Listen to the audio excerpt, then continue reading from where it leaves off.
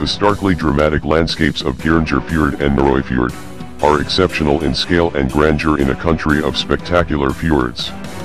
Situated in southwestern Norway, these fjords are among the world's longest and deepest, and vary in breadth, from just 250 meters to 2.5 kilometers wide. Fjord, a word of Norwegian origin, refers to a long and deep inlet of the sea between high cliffs, formed by submergence of a glaciated valley.